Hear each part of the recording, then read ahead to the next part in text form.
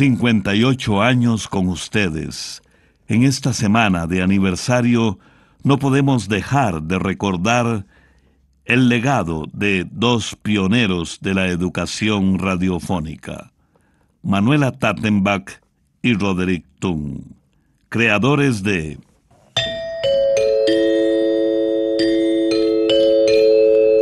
Oigamos la respuesta del Instituto Centroamericano de Extensión de la Cultura. Con nuestro lema, Comprender lo comprensible es un derecho humano. En el programa de hoy sabremos la diferencia entre encefalitis y meningitis. Conoceremos de la vida de Baltasar Yushka, el último hielero del Chimborazo. Cuán importantes son sus preguntas, sabremos gracias a ellas por qué se producen los desmayos. Les recordamos que pueden escuchar también este espacio en el Facebook de Oigamos la Respuesta todos los días, de lunes a sábado, a las 8 de la noche. La travesía de hoy inicia en San José, Costa Rica. Un oyente dice lo siguiente. Quiero saber qué remedio casero o de farmacia puedo ponerme en las manos porque me sudan mucho y el talco no ha sido suficiente. Oigamos la respuesta. El sudor en las manos generalmente se presenta cuando la persona está muy nerviosa o cuando ha hecho mucho ejercicio. Pero hay gente que suda en exceso aunque no estén nerviosas o haciendo ejercicio. A este padecimiento de sudoración excesiva se le conoce como hiperhidrosis. Las personas con hiperhidrosis parecen tener glándulas sudoríparas que son las que producen el sudor bastante activas. Por eso les sudan mucho las manos, los pies y las axilas. En la mayoría de los casos no se puede encontrar la causa de este padecimiento, pero es algo que puede darse en ciertas familias. Hay exámenes que los médicos pueden hacer para saber si se trata de un caso de hiperhidrosis o no. Para que las manos no suden tanto, se pueden hacer varias cosas. Por ejemplo, hacerse masajes en las manos con alcohol que contenga 3% de ácido salicílico. En una farmacia le pueden preparar esta mezcla. Otra cosa es comprar en una botica media libra de borato de sodio y media libra de talco. Revuelve bien esos ingredientes y se tiene esta mezcla en una lata. Durante el día, cada vez que pueda, coge un poquito de ese polvo y lo restriega en las manos. Pero si usted nota que estos remedios no le han dado resultado, sería conveniente que vaya donde un médico dermatólogo para que vea su caso y le mande un tratamiento.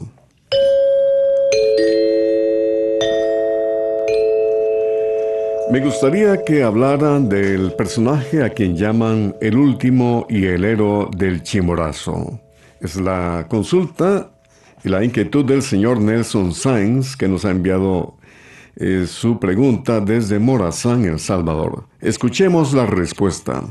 Posiblemente usted, don Nelson, se refiera al señor Baltasar Ushka Tenesaca, quien nació en 1944 en la ciudad de Riobamba, en Ecuador. Esta ciudad está en la cordillera de los Andes a una altura de 2.750 metros sobre el nivel del mar.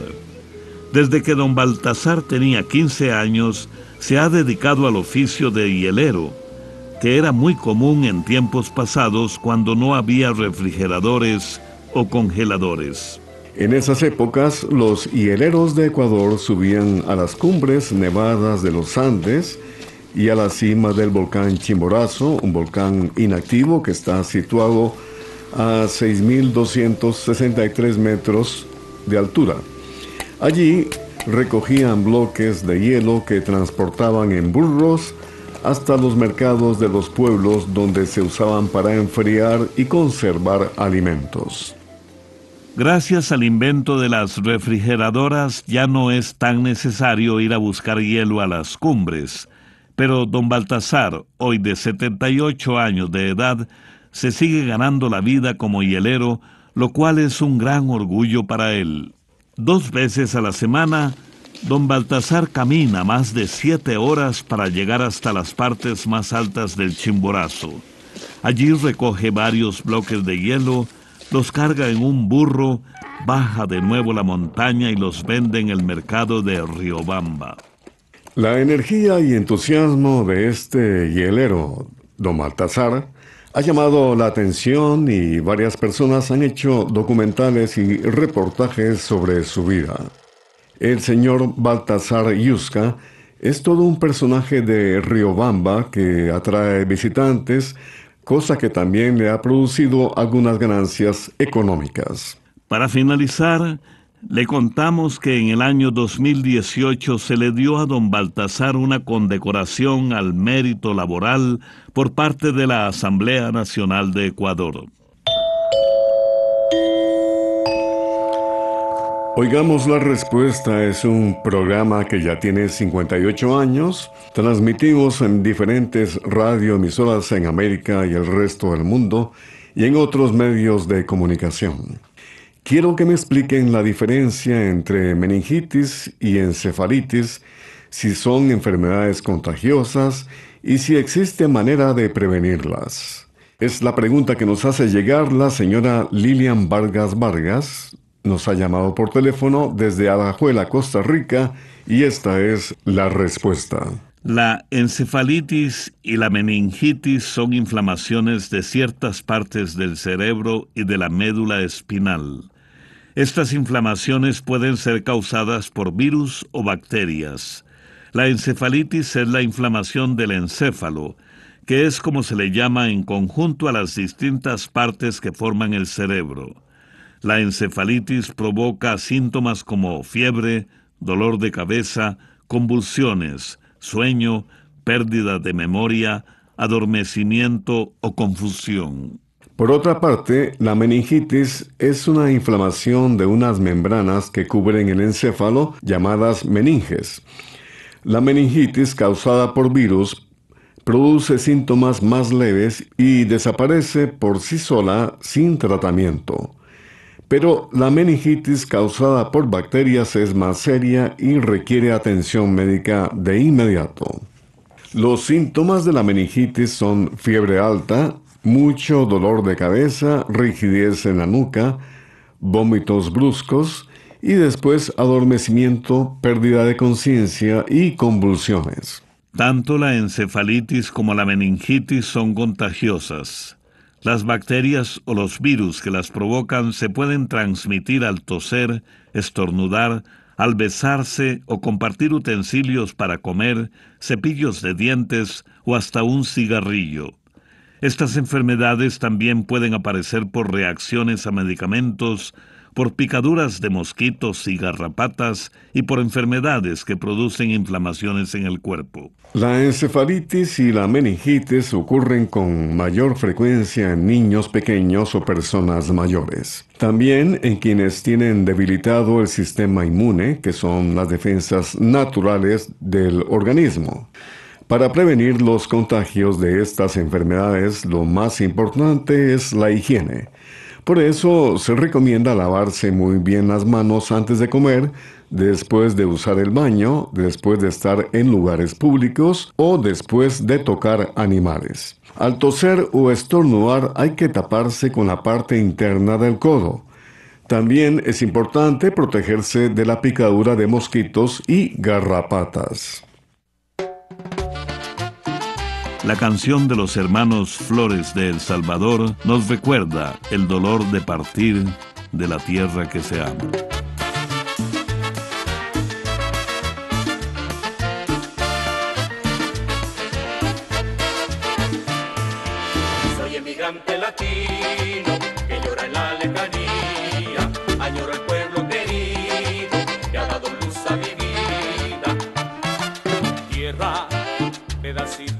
Cielo que discutía dichoso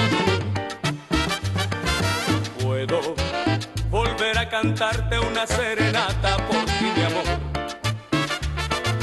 Busco todos los caminos que me conduzcan de nuevo a ti.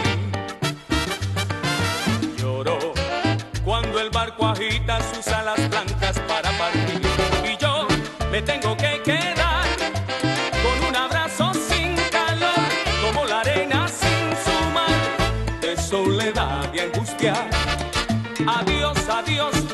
de mi juventud, recuerdo de aquella niñez, quizá no vuelva más aquí, pero olvidarte nunca. Soy emigrante latino, como yo no recordar esta noche callada de luna de mi tierra natal, mis abuelos y grandes amigos, mi novia y mi antiguo hogar, soy emigrante latino, como lloro al recordar.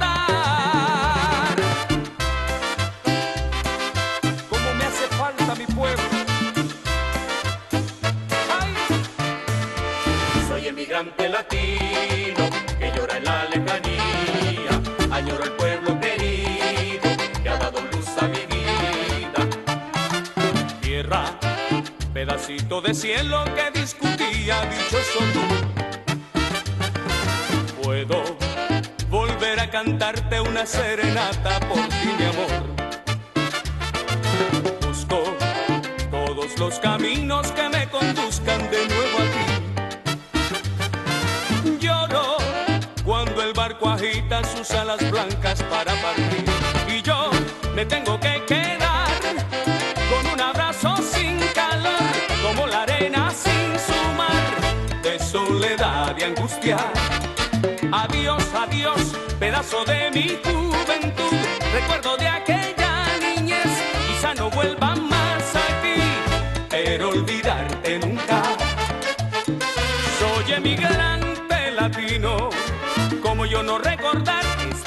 callada de luna de mi tierra natal, mis abuelos y grandes amigos, mi novia y mi antiguo hogar. Soy emigrante latino, como lloro al recordar.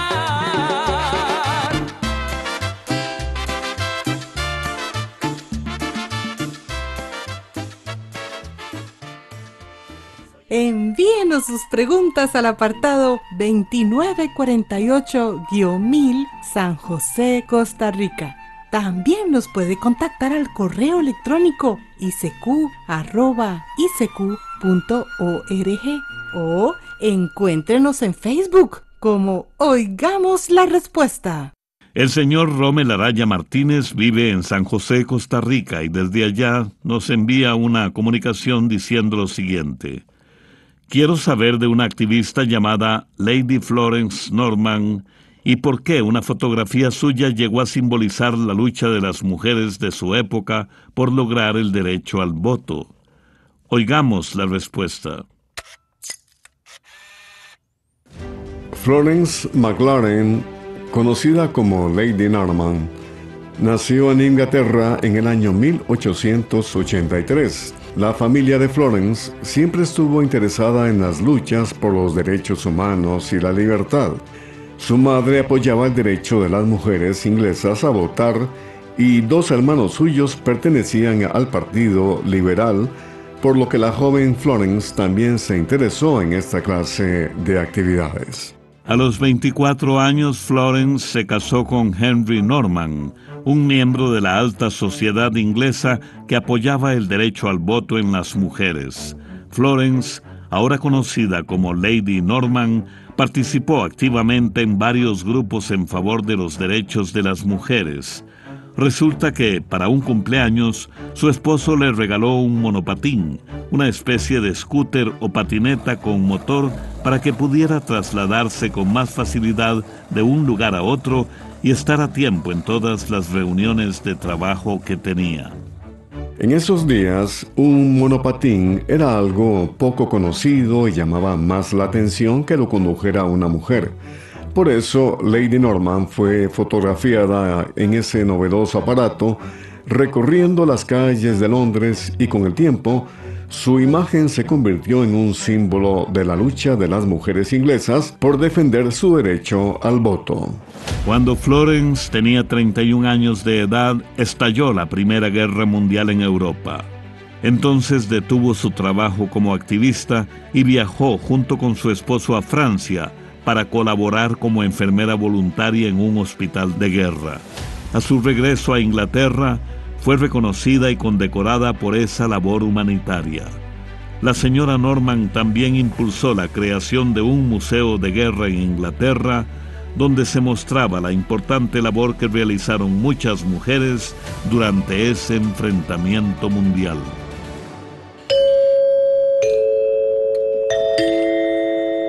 Recuerden que estamos todos los días a las 8 de la noche en el Facebook de Oigamos la Respuesta y también, por supuesto, a través de este medio de comunicación. Cuando una persona se desmaya, la gente que está cerca se asusta mucho. ¿Por qué ocurren los desmayos? ¿Hay peligro de muerte? Son las preguntas que nos hace el señor Arle Alvarado Sosa a través de un WhatsApp desde su tierra, Chontales, Nicaragua. Oigamos la respuesta. Un desmayo ocurre cuando una persona pierde por un momento la conciencia debido a que se le baja la presión arterial. Esto hace que no lleguen al cerebro las cantidades suficientes de sangre y oxígeno que necesita para funcionar bien. Hay muchas causas por las cuales puede presentarse un desmayo.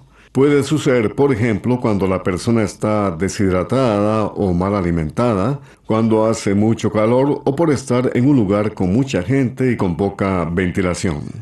También puede ocurrir un desmayo cuando se está sentado o de pie durante mucho tiempo y la persona se pone de pie o se levanta muy rápidamente. También es posible que una persona se desmaye porque algo le provoca miedo, dolor, ansiedad, susto o una fuerte impresión. Todas estas cosas pueden provocar un bajonazo de la presión y en consecuencia un desmayo. Las mujeres embarazadas también pueden desmayarse por los cambios que tienen lugar en su organismo. Asimismo, es posible desmayarse a causa de enfermedades del corazón o del sistema nervioso, anemia o hasta a causa de ciertos medicamentos que disminuyen la presión sanguínea. Cuando alguien se desmaya es muy importante mantener la calma. Si no hay golpes o lesiones, hay que colocar la persona acostada boca arriba, aflojar los cinturones, collares, pulseras y vestimentas apretadas y levantarle las piernas para que la sangre vaya hacia la cabeza. Es importante no intentar levantarla de pronto y se debe llamar al 911 911 cuanto antes para que reciba atención médica. Las guitarras y la voz de la recordada humorista costarricense Carmen Granados nos recuerdan una página de folclore costarricense. Fiestas ticas. Qué alegre está mi patria, mi linda Costa Rica, mi hermosa patria tica, que engalanada está parecen estrellitas sus luces de colores que llenan de primores la linda capital. Por donde quiera reinan la fiesta y la alegría, la noche se hace día y es bello el despertar. Brindemos por la dicha del año que se acerca, que traiga a Costa Rica felicidad y paz. Qué alegre está mi patria, Costa Rica, mi hermosa patiatica que engalanada está. Parecen estrellitas sus luces de colores que llenan de primores la linda capital. Por donde quiera reinan la fiesta y la alegría, la noche se hace día y es bello el despertar. Brindemos por la dicha del año que se acerca, que traiga a Costa Rica felicidad y paz. Uy, pipía. Ay, qué lindas son las fiestas de mi bella capital. Uy,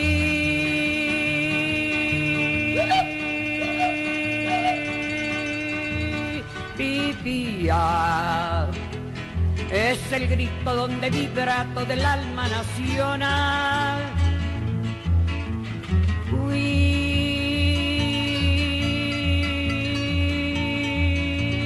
vivía.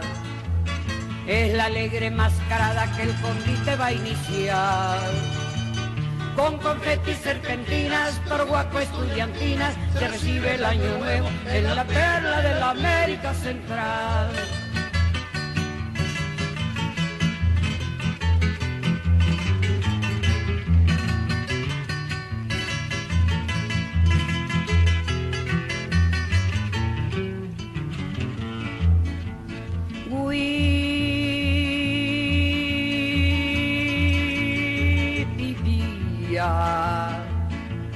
Ay, qué lindas son las fiestas de mi bella capital.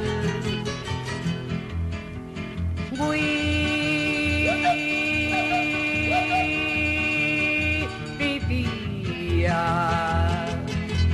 Es el grito donde vibra todo el alma nacional.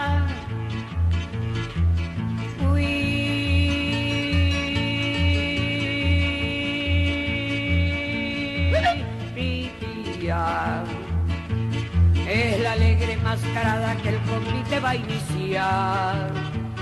Con confetis, serpentinas, torguaco, estudiantinas, se recibe el año nuevo en la perla de la América Central. También puede contactarnos a través de un mensaje de WhatsApp al teléfono código de área 506, número 8485-5453. Continuamos, amigas y amigos. Aquí estamos con la consulta de la señora Beatriz Báez. Nos ha enviado un WhatsApp desde Chontales, Nicaragua. Nos pregunta, ¿quién fue el indio caudillo Nequecheri? Escuchemos la respuesta. Nequecheri fue el nombre de un cacique o líder indígena chorotega. También hubo un poblado indígena con su nombre durante la época de la conquista española. Se llamaba Ciudad Indígena del Cacicazgo de Nequecheri y estaba muy cerca de lo que hoy son los municipios de Nandaime, Diria y Diriomo. Desafortunadamente es muy poca la información que existe sobre el cacique Nequecheri. Sí le podemos contar que su nombre se menciona en una leyenda de la laguna de Azozosca que cuenta cómo murió la princesa Isayana, hija del cacique Nequecheri, a causa de un engaño de los españoles que buscaban un tesoro en esa laguna. 58 años con ustedes. No dejen de escribirnos o de enviarnos sus preguntas a través de todos los medios posibles. El señor Enrique Parrales Navarrete nos envía una consulta desde su residencia en Desamparados, San José, Costa Rica. Dice lo siguiente, les mando la foto de un animalito parecido a un sapo que encontré mientras excavaba en la tierra. No salta y pareciera que su cuerpo estuviera hecho de gelatina, es de color blanco transparente. Me gustaría saber cómo se llama este animalito. Oigamos la respuesta. El animal que aparece en la foto que usted nos manda, la gente le llama alma de vaca, sapo borracho o sapo excavador. Le dicen así porque camina torpemente, pero si los molestan pueden brincar hasta 15 centímetros o más. Este sapo vive únicamente en nuestro continente desde México hasta Costa Rica. El sapo excavador tiene un aspecto muy curioso. Tal y como usted lo describe, es como una masa gelatinosa porque su cuerpo es muy suave y tiene la piel suelta. Además, la cabeza es muy pequeña y en forma de cono y los ojos son muy pequeños y como vidriosos. Mide entre 7 y 8 centímetros. El sapo excavador generalmente se encuentra en bosques donde hay una estación seca y una lluviosa muy marcadas. En la época lluviosa, estos sapos también pueden verse en áreas abiertas como potreros, campos cultivados y desagües en las orillas de los caminos. Estos sapos excavan cuevas bajo la superficie de la tierra en donde permanecen enterrados. No se sabe exactamente cuánto tiempo permanecen dentro de las cuevas. Se reproducen cuando comienzan las lluvias, Los machos cantan muy fuerte en las tardes lluviosas y cuando llega la noche se mueven hasta las charcas, se sumergen un poco e inflan su cuerpo y cantan mientras flotan con sus patas estiradas. Esos cantos del sapo excavador pueden escucharse a kilómetros de distancia. Vamos a recordar en nuestra sección musical a un gran artista, cantautor de amplia trayectoria, el inolvidable Juan Gabriel de México. ¡Qué chasco me llevé!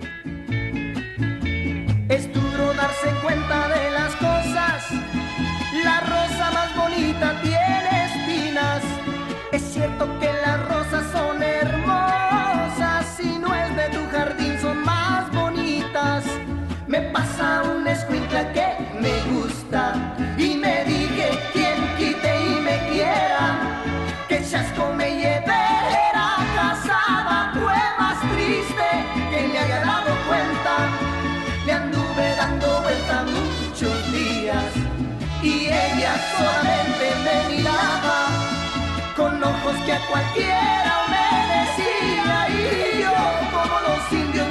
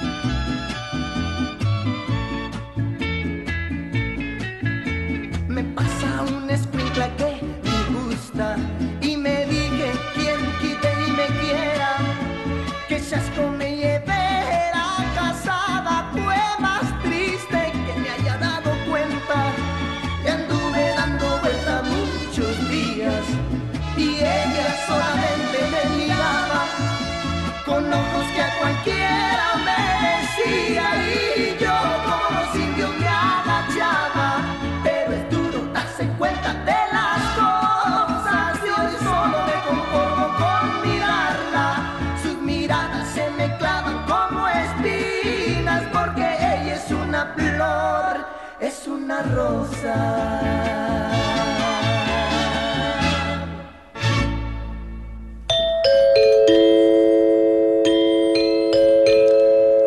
En la parte final de este programa, una frase de Rosa Luxemburgo, periodista y activista política polaca, que dice, Lo más revolucionario que una persona puede hacer es decir siempre en voz alta lo que realmente está ocurriendo.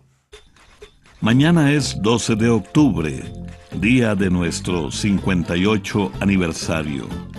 Vamos a recordar la voz de uno de los pioneros de la locución en Oigamos la Respuesta, el recordado José Manuel Salas Araya. Programa B Control 29. Y así llegamos al final del programa del día de hoy. Los esperamos mañana en este su programa Oigamos la Respuesta. Mándenos sus preguntas al apartado 2948-1000 San José, Costa Rica. También puede enviarnos sus preguntas al correo electrónico isq.org o encuéntrenos en Facebook como Oigamos la Respuesta o llámenos por teléfono, código de área 506, número 2225-5338 o 2225-5438. Recuerde que comprender lo comprensible es un derecho humano.